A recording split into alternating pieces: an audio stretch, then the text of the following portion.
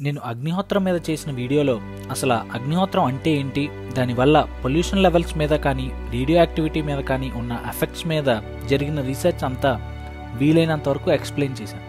కానీ మీలో ఎవరికైనా అసలు ఎందుకు అగ్నిహోత్రం చేసినప్పుడు ఈ ఎఫెక్ట్ తీసుకొస్తుంది అని ఎప్పుడైనా అనిపించిందా? అంటే మనం చదువుకున్న సైన్స్ ప్రకారం ఏదైనా కాల్చడం అంటే అది జస్ట్ ఒక హీటింగ్ ప్రాసెస్. మరి అలాంటప్పుడు ఫార్మింగ్ మీద యానిమల్స్ మీద పొల్యూషన్ లెవెల్స్ మీద ఎందుకు అంత పాజిటివ్ ఇంపాక్ట్ ఉంది? నాకు మాత్రం ఈ ప్రశ్న అగ్నిహోత్రం గురించి తెలుసుకున్నప్పటి నుంచి బుర్రలో మెదులుతూనే ఉంది. ఆ ప్రశ్నకు సమాధానం వెతుక్కుంటూ నెట్ అంతా వెతికాను.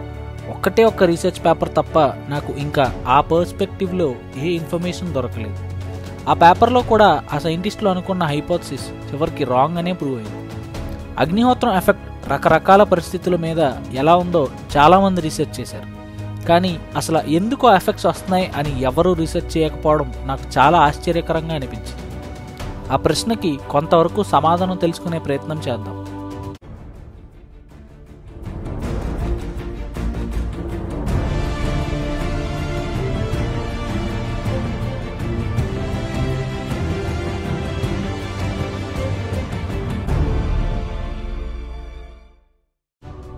అసలు అగ్నిహోత్రం చేస్తే ఎందుకు పాజిటివ్ ఇంపాక్ట్ కలుగుతుందో తెలుసుకోవాలంటే ముందు అసలు ఏ రకమైన ఇంపాక్ట్ అగ్నిహోత్రం చేసినప్పుడు కలుగుతుందో క్లియర్గా తెలుసుకోవాలి. ఆ రెండూ తెలుసుకునే ముందు మనం సౌండ్ గురించి తెలుసుకోవాలి. ఆల్టర్నేటింగ్ కరెంట్ కనిపెట్టిన నికోలా టెస్లా ఒక మాట చెప్పేవారు. If you want to find the secrets of universe think in terms of energy frequency and vibration మనం సౌండ్ గురించి మాట్లాడుకోవాలంటే ఈ మూడిటితోనే మాట్లాడతాం. మనం జనరేట్ చేసే ప్రతి సౌండ్ దాని ఫ్రీక్వెన్సీ బట్టి ఈ నేచర్ మీద ఇంపాక్ట్ చేస్తుంది. ప్రతి సౌండ్ నోట్ మన చుట్టూ ఉన్న ప్రతి ఆటం మీద ఎంతో కొంత ఎఫెక్ట్ చూపిస్తుంది. దీని మీద సిమాటిక్స్ అనే ఒక బ్రాంచే ఉంది స్టడీ చేయడానికి. ప్రతి సౌండ్ యొక్క ఎఫెక్ట్ దాని ఫ్రీక్వెన్సీ బట్టి ఎలా ఉంటుందో చూడండి.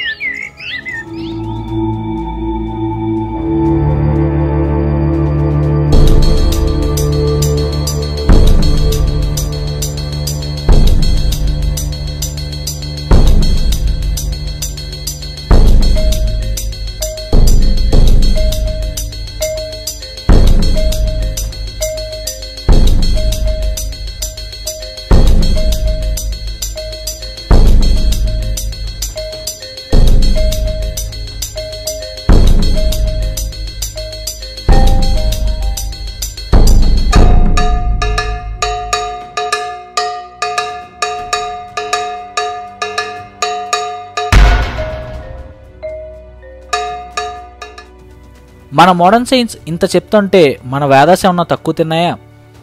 ఓం అనే శబ్దం నుంచే ఈ విశ్వం పుట్టిందని వేదాలు చెప్తున్నాయి. దాన్నే శబ్ద బ్రహ్మన్ అని చెప్తున్నాయి. అంటే ఒక శబ్దమే దేన్నైనా క్రియేట్ లేదా డిస్ట్రాయ్ చేయగలవు అని వివరిస్తున్నాయి. అలాంటప్పుడు ఒక శబ్దానికి ఈ నేచర్ మీద ఇంపాక్ట్ ఇవ్వడం అనేది పెద్ద విషయం కాదు. ఈ విషయం ఇప్పుడు సైంటిస్టులు అందరూ ఒప్పుకున్నదే. ఒక సౌండ్ని hundred thousand to three hundred thousand hertz ఫ్రీక్వెన్సీలో జనరేట్ చేసి అది క్రియేట్ చేసే రెజినెన్స్ ద్వారా క్యాన్సర్ సెల్స్నే చంపుతున్నారు. ఈ ట్రీట్మెంట్ పేరే హిస్టోట్రిప్సీ. ఇది మీకు తేలికగా అర్థం కావాలంటే ఇది చూడండి.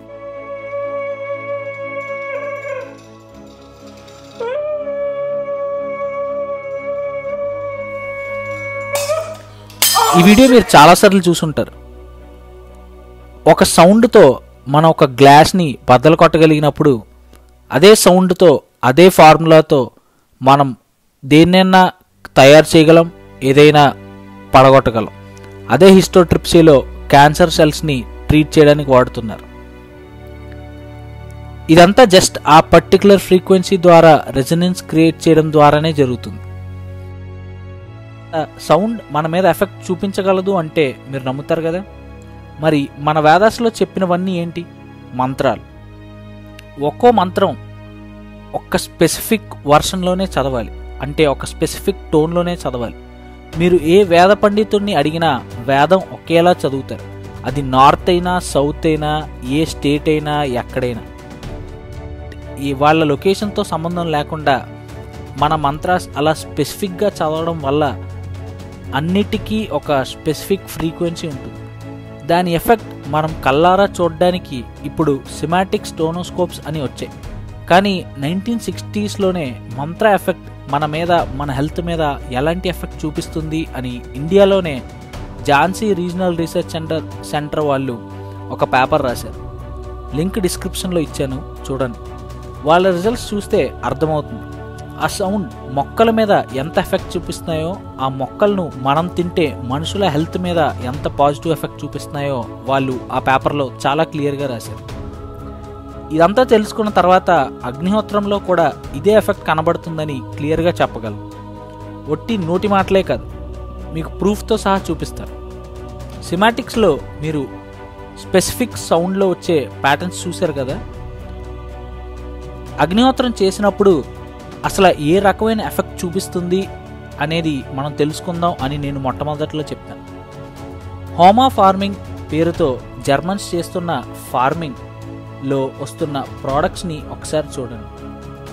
కెమికల్ వెజిటబుల్స్ని ఆర్గానిక్ వెజిటబుల్స్ని హోమా ఫార్మ్ వెజిటబుల్స్ని కంపేర్ చేస్తే సేమ్ ఒక సిమెట్రిక్ స్ట్రక్చర్ ప్యాటర్న్స్ మీకు చాలా క్లియర్గా కనపడతాయి చూడండి. ఇదే అగ్నిహోత్ర ఫార్మింగ్లో చూపిస్తున్న పాజిటివ్ ఇంపాక్ట్ వెనక ఉన్న వన్ ఆఫ్ ద ఫ్యాక్టర్స్. ఇక్కడతో అగ్నిహోత్రం వెనకాల నేను చెప్తానన్న సైంటిఫిక్ రీజనింగ్ అయిపోయింది.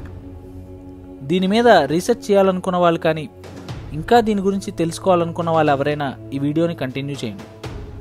అగ్నిహోత్రం మంత్ర ఉన్నప్పుడే కాదు మంత్రాస్ లేకుండా కూడా పాజిటివ్ ఇంపాక్ట్ చూపిస్తుంది. నేను దీనికోసం వెతికేటప్పుడు ఒకే ఒక్క పేపర్ కనబడిందని చెప్పాను కదా. ఆ paper Indian and German professor ఇద్దరు కలిసి రాశారు. వాళ్ళు ఈ అగ్నిహోత్రం చూపించే ఎఫెక్ట్ వెనకాల ఏదో ఒక ఎలక్ట్రోమాగ్నెటిక్ ఫీల్డ్ కారణం అని భావించారు. అది చెక్ చేయడానికే ఎలక్ట్రోమాగ్నెటిక్ ఫీల్డ్ని ఆపగలిగే ఫారడే కేజెస్లో కొన్ని శాంపుల్స్ ఆఫ్ పొల్యూటెడ్ వాటర్ని ఆ కేజెస్ లేకుండా కొన్ని శాంపుల్స్ని ఏర్పాటు చేసుకుని అగ్నిహోత్రం చేస్తే వచ్చే ఎఫెక్ట్ని టెస్ట్ చేశారు. కానీ ఆశ్చర్యకరంగా రెండు శాంపుల్స్లోనూ ఒకే రకమైన పాజిటివ్ ఇంపాక్ట్ కనపడింది. అంటే అగ్నిహోత్రం చేసినప్పుడు క్రియేట్ అయ్యే ఫీల్డ్ మనకు తెలిసిన ఎలక్ట్రోమాగ్నెటిక్ ఫీల్డ్కి అందనిది అర్థం కానిది. ఎవరైనా రీసెర్చ్ మీద ఇంట్రెస్ట్ ఉన్నవాళ్ళు ఉంటే అదేంటో కనుక్కోవడానికి ట్రై చేయండి.